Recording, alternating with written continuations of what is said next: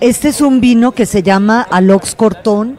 Es de una de las zonas más emblemáticas de la región de Borgoña en Francia, en la parte de Cortón. Esto encierra tres pueblos que son emblemáticos y data desde el año 69 cuando se reconoció la zona de Alox en donde se elaboraban vinos. Sin embargo, o sea, es una zona milenaria. Sin embargo, hasta los 1800 se le agrega la parte de Cortón, que es toda esta parte de la montaña. Y de ahí nacen vinos de la mayor importancia que hay en, en, Borgoña.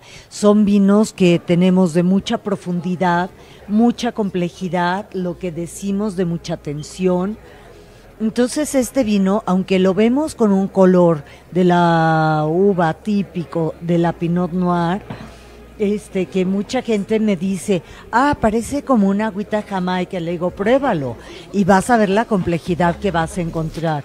Entonces encontramos desde la parte de la fruta, encontramos una parte herbácea, la parte mineral, la parte de la barrica, eh, que va a acompañar perfectamente un plato tan barroco como este mole.